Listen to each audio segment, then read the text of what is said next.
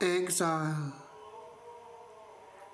Lines written after being transferred to Italy and taking again the habit of St. Norbert at St. Antimo, far away from Ireland and Wales, in midwinter, when there was no heating in the cloister, at least in the church.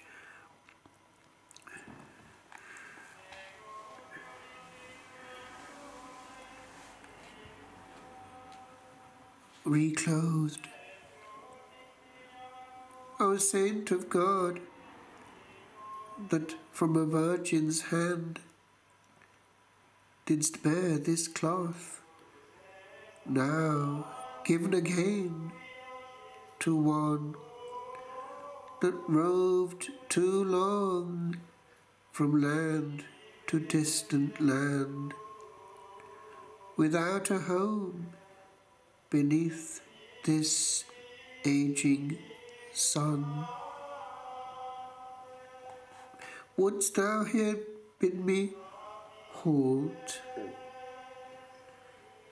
and take the pain of exile as the heavy cross to be the part of one alone. Nay, and again this cold, well known as all mine ecstasy. O rapture, wait a while, I will walk on a little longer on this well trod way.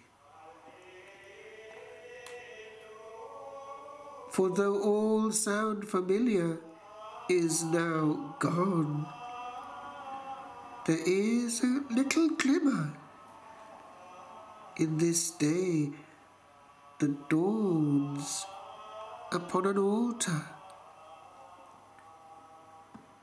standing high upon an ancient dream, now drawing nigh.